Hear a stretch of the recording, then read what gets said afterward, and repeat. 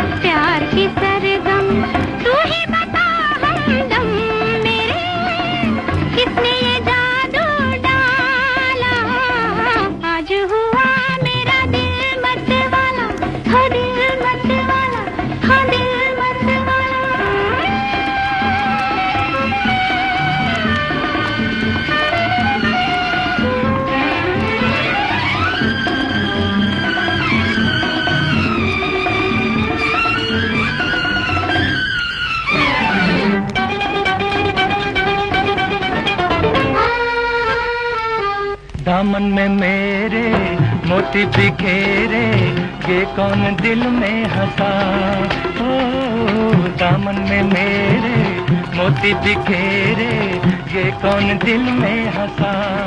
ओ बन के बाहर कौन ज़िंदगी पे छा गया? बन के बाहर कौन ज़िंदगी पे छा गया? खाबों को मेरे रंग डाला। आज हुआ मेरा दिल वाला। गाते चले हम प्यार की सरगम।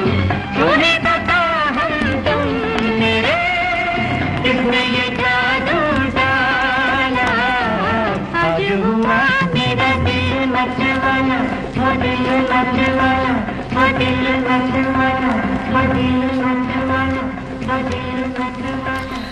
भाई आपका दिल मतवाला हो गया है तो कोई बात नहीं आप हमारे साथ झूमते गाते आगे आगे बढ़ते रहिए क्योंकि आज हम आपको कहाँ ले चल रहे हैं ये तो मैंने आपको बता ही दिया। अंबिकापुर जी हाँ अंबिकापुर सरज, सरजुगा ज़िले में स्थित है और ये सांस्कृतिक और ऐतिहासिक रूप से काफ़ी ज़्यादा मायने रखता है क्योंकि यहाँ पर न सिर्फ़ देवी मंदिर है बहुत सारे ऐसे मंदिर हैं जो कि आप देख सकते हैं और इसके अलावा यहाँ पर सिर्फ़ धार्मिक स्थल ही नहीं है कुछ ऐसी रहस्यमय जगह भी है जो कि आप यहाँ जाएँगे तो वो आपको आपको अपनी तरफ़ आकर्षित करेंगी। जी हाँ क्या है उन रहस्यमय जगहों में खास? ये भी मैं आपको बताऊँगी। तो शुरुआत करते हैं कि यहाँ अगर आप जाते हैं तो आपको घूमना कहाँ कहाँ है? एक जगह है यहाँ पर ताता पानी। जी हाँ ताता पानी। यानी कि जैसा कि नाम से ही पता चलता है, ताता मतलब गर्म और पानी मतलब पानी। अंबिकापुर भ्रमण की अगर आप शुरुआत करते हैं तो आप यहाँ से कर सकते हैं। और ये जगह जो है, यहाँ की खासियत यह है कि यहाँ पर गर्म पानी का कुंड है, जो कि ज़िले के पूर्वी भाग में स्थित है। ये कुंड साल भर खोलता रहता है। हम्म और यही वजह है कि यहाँ पर रोज़ाना हज़ारों लाखों पर्यटकों का मजमा लगा रहता है। इस कुंड के पानी में काफ़ी औषधीय गुण है या यूँ कहूँ कि त्वचा के रोगों के लिए ये काफ़ी कारगर माना जाता है। और अगर आप इस पानी में नहाते हैं तो आपकी जो भी स्किन प्रॉब्लम्स है वो सब दूर हो जाती हैं ऐसा विश्वास आ, माना जाता है यहाँ पर ऐसा विश्वास किया जाता है।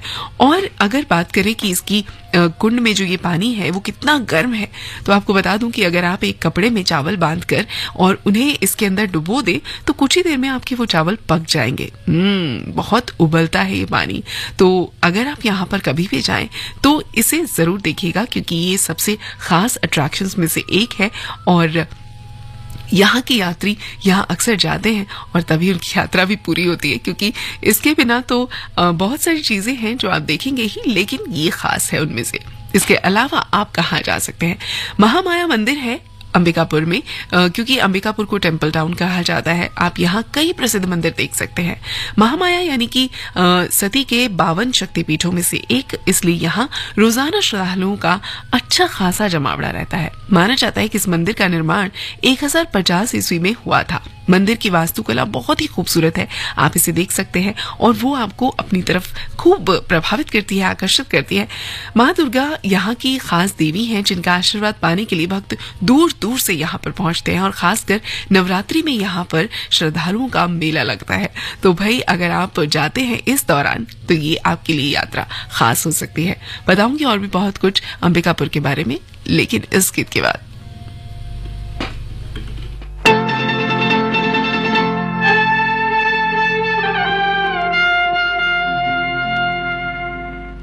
जे हम तुम चोरी से बंधे एक डोरी से, जइयो कहाँ ए हजूर? जे हम तुम चोरी से बंधे एक डोरी से, जइयो कहाँ ए हजूर? बंधन है प्यार बंधे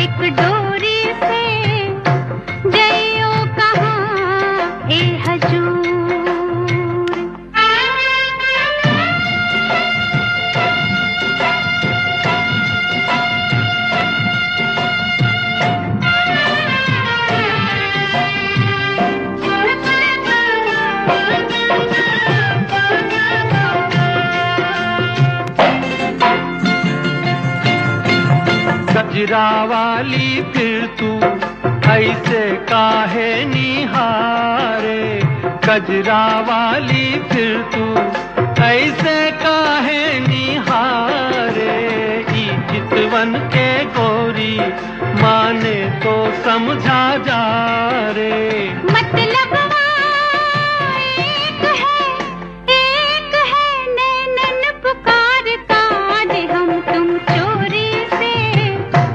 एक डोरी से, जइयो कहाँ ए हजू? हम तुम चोरी से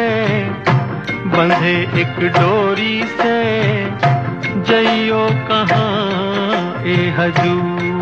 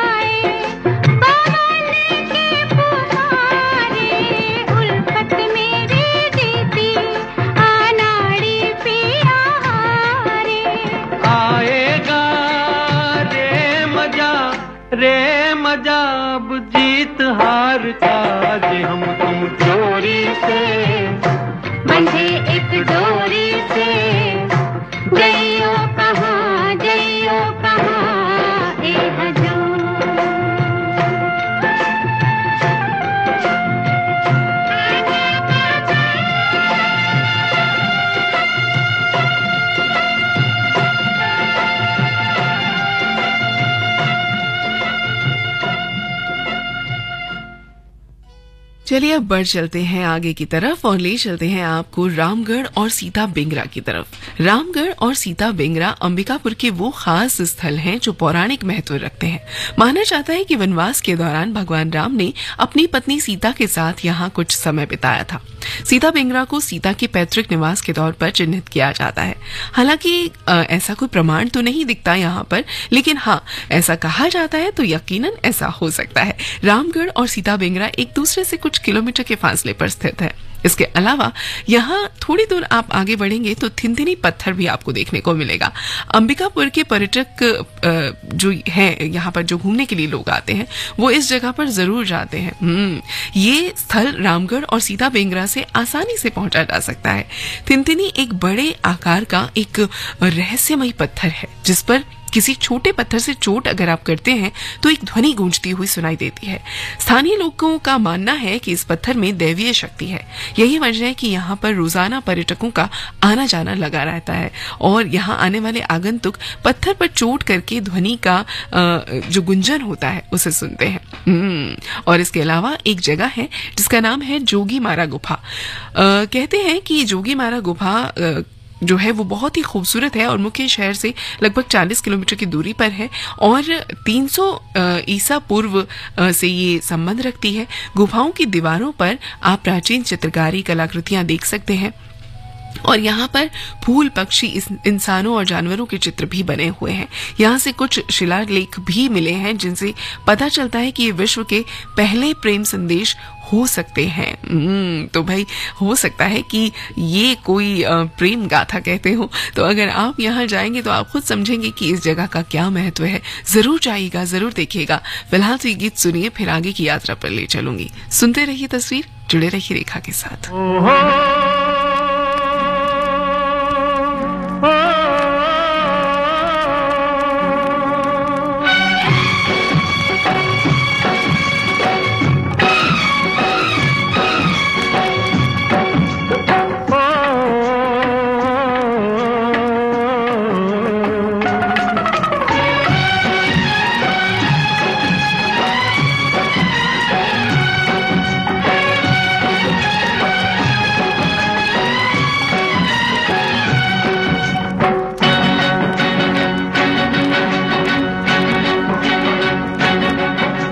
धरती कहे पुकार के धरती कहे पुकार के ओ मुझको चाहने वाले किस लिए बैठा हार के मेरा सब कुछ उसी का है जो चूले मुझको प्यार से। धरती कहे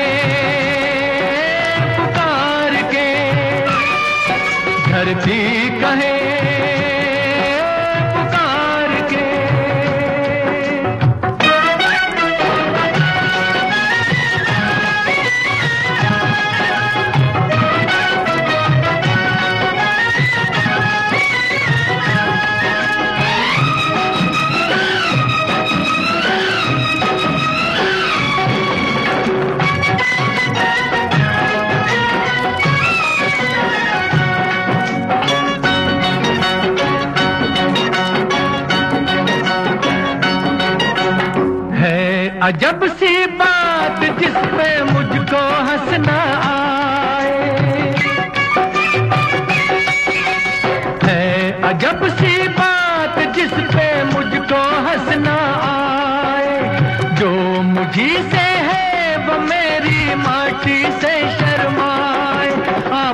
मेरे मत वाले भरम, ये क्यों बेकार के?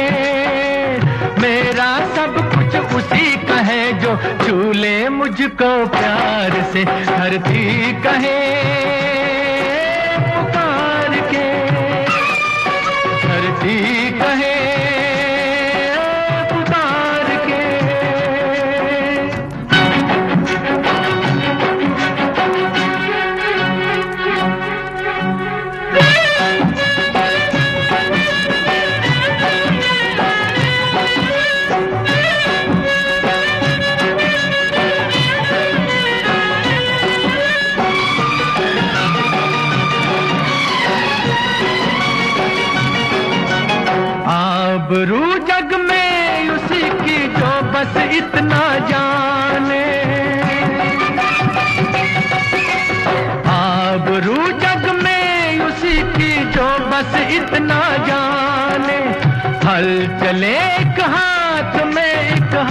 कलम को थाम।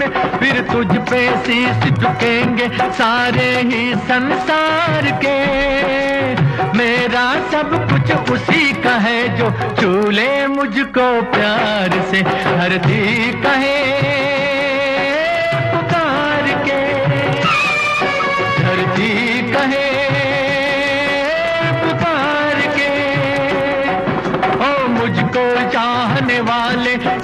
लिए बैठा हार के, मेरा सब कुछ उसी का है जो झूले मुझको प्यार से, धरती कहे।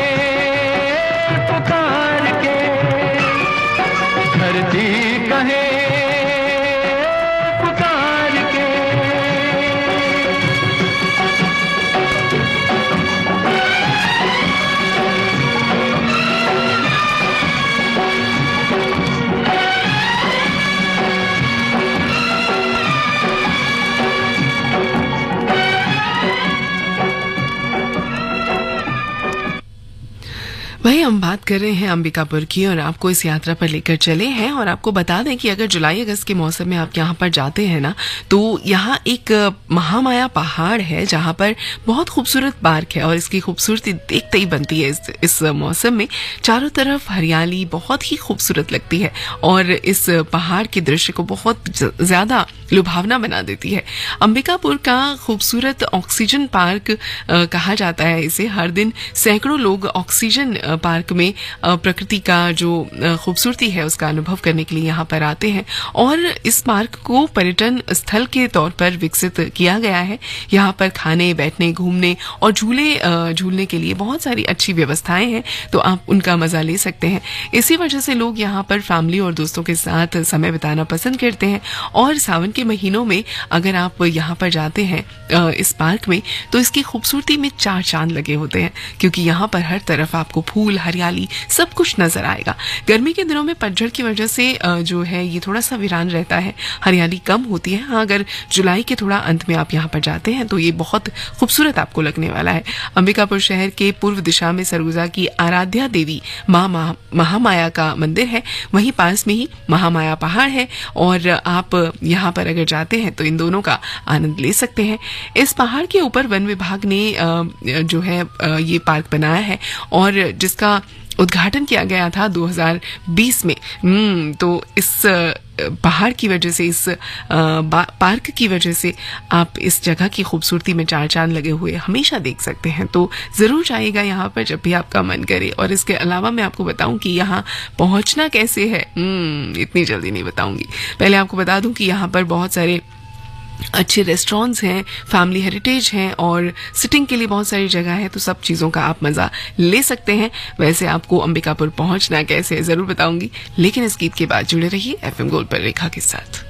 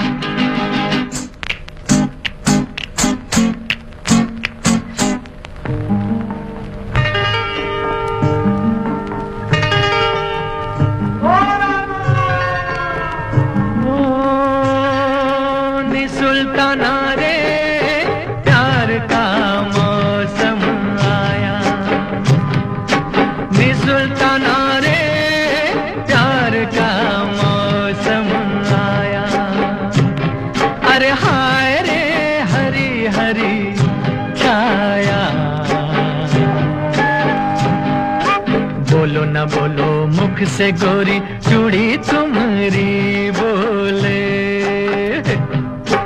ये बतिया सुन सुन के दिया मेरा डोले।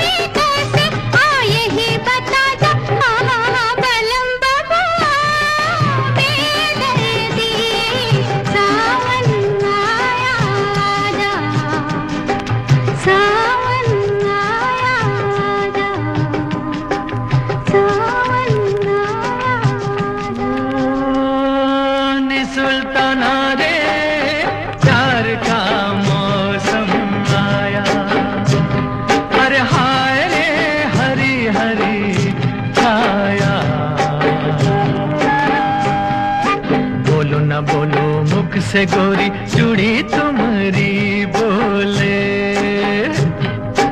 यही बतिया सुन सुन के जिया मेरा डोले।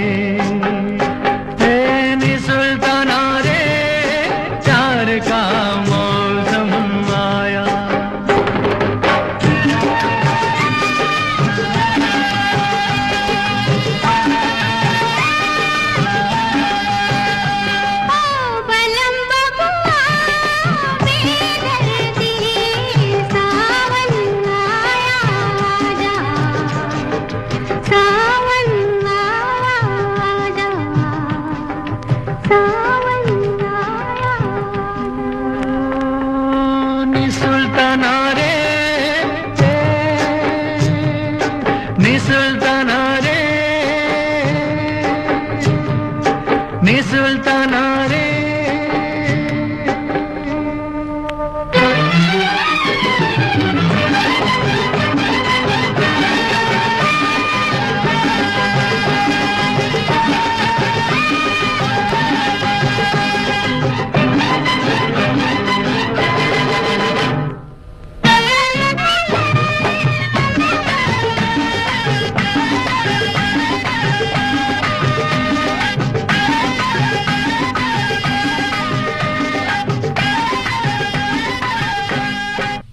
हम सैर कर रहे थे अंबिकापुर के महामाया पहाड़ की जहाँ पर बना है ऑक्सीजन पार्क। और ऑक्सीजन पार्क तो आपने घूमा। वहाँ पर बहुत सारे रेस्टोरेंट्स हैं बहुत सारी ऐसी जगह हैं जहाँ पर आप घूम सकते हैं खा पी सकते हैं आराम कर सकते हैं। बहुत कुछ है वहाँ देखने के लिए। हरियाली तो है ही खूबसूरत फूलों से भरा रहता है। अ, सावन के मौसम में या ऐसे मौसम में जब पतझड़ ना हो यानी अभी तो नहीं अभी तो गर्मी है और गर्मी में आपको यहाँ पर हरियाली कम मिलेगी। लेकिन हाँ बाकी चीज़ें हैं यहाँ पर देखने के लिए जिन्हें आप देख सकते हैं।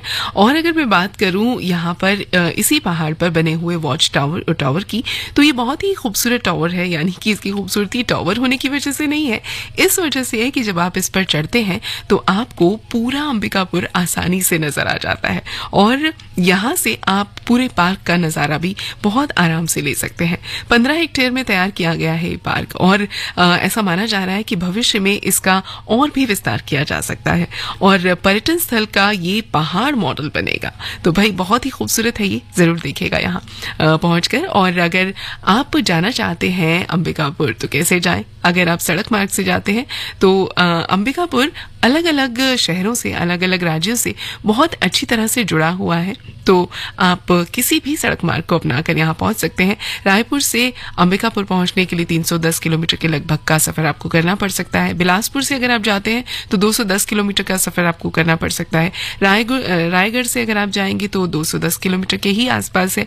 इसी तरह मध्य प्रदेश, उत्तर प्रदेश, झारखंड, उड़ीसा, भोपाल, दिल्ली, हर जगह से इसकी कनेक्टिविटी बहुत अच्छी है। तो आप कहीं से भी यहाँ पर पहुँच सकते हैं बाय रोड। और अगर आप जाना चाहें रेल मार्ग से तो सरगुजा जिला मुख्यालय अंबिकापुर का जो रेल मार्ग है, वो उससे जुड़ा हुआ है। इसके अलावा अंबिकापुर शहर के मुख्य मार्ग देवीगंज रोड पर स्थित गांधी चौक से रेलवे स्टेशन की दूरी जो है, वो लगभग पाँच किलोमीटर है। यहाँ से टेंपो, टैक्सी या फिर कोई भी ऐसा लोकल ट्रांसपोर्ट लेकर आप यहाँ पर आसानी से पहुँच सकते हैं। दिल्ली से अगर आप जाते हैं रेल से तो आपको जाना होगा अनूपपुर और अनूपपुर से आपको अंबिकापुर के लिए ट्रेन मिल जाएँगी। तो आप यहाँ पर आसानी से पहुँच पाएँगे। बिलासपुर से अंबिकापुर आने के लिए बस और ट्रेन दोनों का इस्तेमाल आप कर सकते हैं।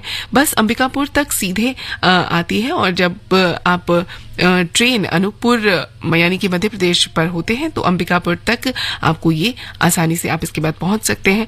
तो ये एक आसान तरीका है कि अगर आप रेल मार्ग से यहाँ पर जाते हैं। वायु मार्ग की अगर मैं बात करूँ, यानी कि अगर आप बाय एयर यहाँ पर पहुँचना चाहें तो अंबिकापुर सीधे आने के लिए तो इतना आसान नहीं है, लेकिन हाँ छत्तीसगढ़ की जो राजधानी है रायपुर, यहाँ पर आप हवाई जहाज़ से पहुँच सकते हैं और उसके बाद रायपुर से अंबिकापुर 310 किलोमीटर की दूरी का जो सफ़र है वो तय करके यहाँ पर आप आसानी से पहुँच पाएँगे। यानी कि अगर मैं बात करूँ निकटतम हवाई अड्डे की तो वो है स्वामी विवेकानंद हवाई अड्डा, जो कि छत्तीसगढ़ राज्य की राजधानी रायपुर में स्थित है। तो आप यहाँ पर आसानी से पहुँच पाएँगे और इसके अलावा अगर मैं बात करूँ यहाँ की स्वच्छता की तो बहुत ही खूबसूरत है ये जगह, बहुत साफ़ सुथरा है ये और इसे सबसे स्वच्छ शहरों में से एक माना जाता है देश के।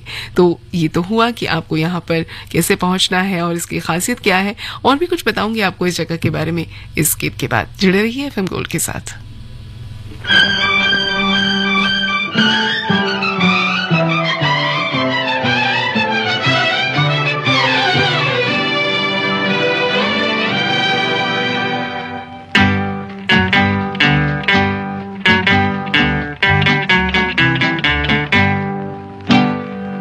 जब से आँखें हो गई तुमसे चार इस धरती पर।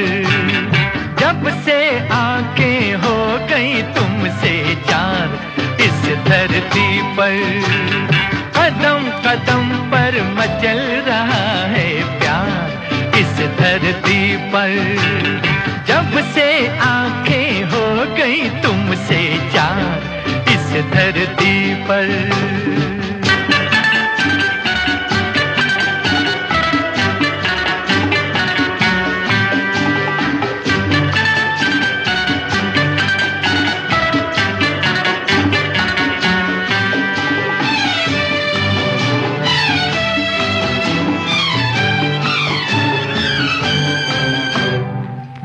जब देखूँ रूप तुम्हारा, याद वतन की आए।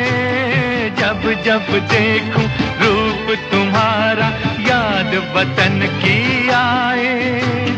जैसे मेरा एक तारे पे गीत शाम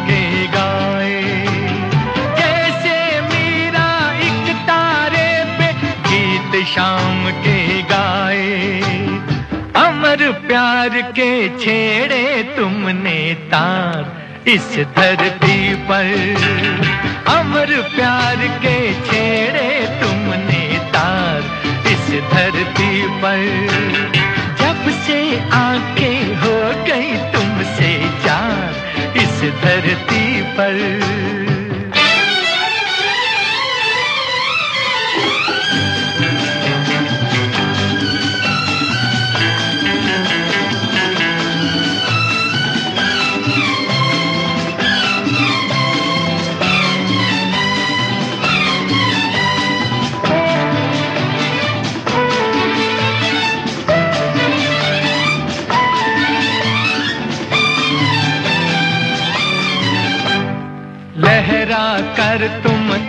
बाहों में आ जाती हो, ऐसे लहरा कर तुम इन बाहों में आ जाती हो, ऐसे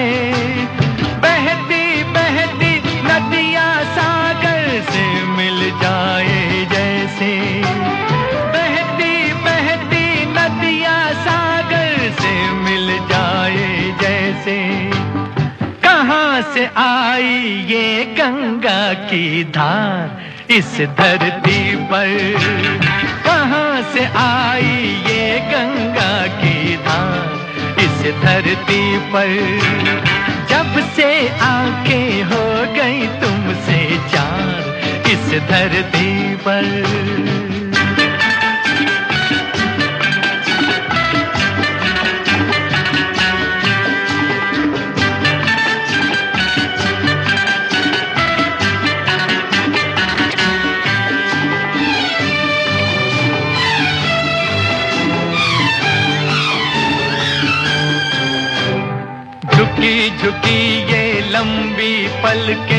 ये जुल्फों की छाँव, झुकी झुकी ये लंबी पल के ये जुल्फों की छाँव।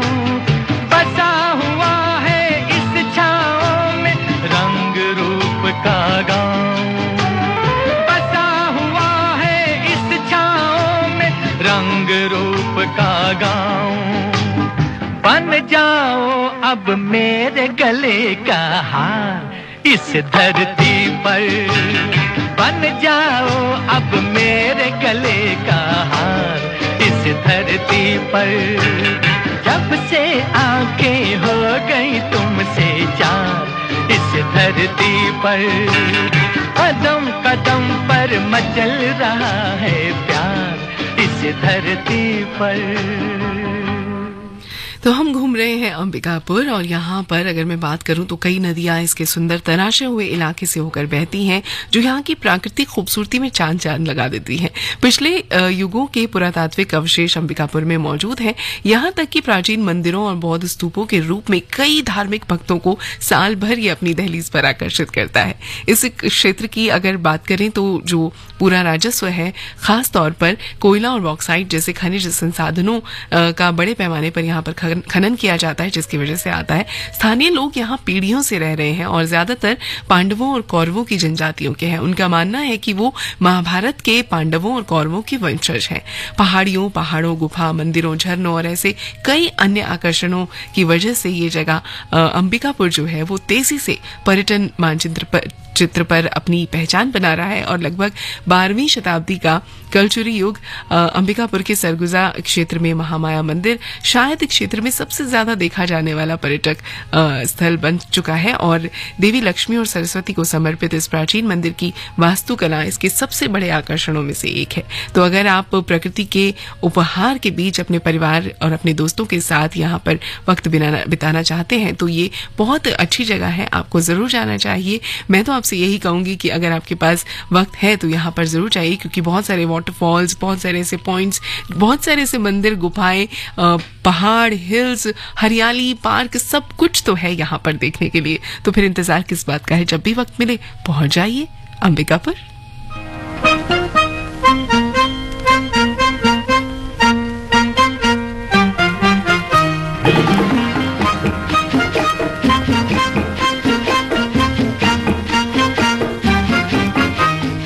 चेहरे पे गिरी जुल्फे कह दो तो हटा दूँ मैं।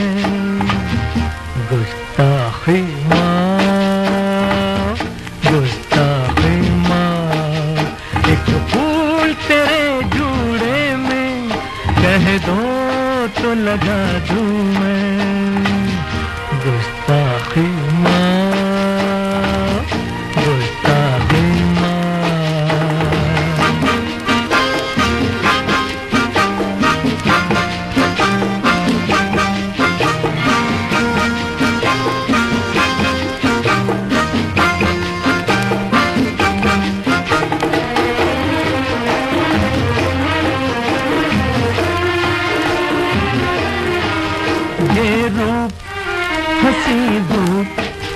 बहुत खूब है, लेकिन उल्फत के बिना फीका चेहरा तेरा रंगीन। ये रूप हँसी धूप बहुत खूब है, लेकिन उल्फत के बिना पीता चेहरा तेरा रंगीन। एक दीप मोहब्बत का कह दो तो जला दू मैं गुस्ताखी माँ गुस्ताखी माँ। चेहरे पे गिरी जुल्फे, कह दो तो हटा दूँ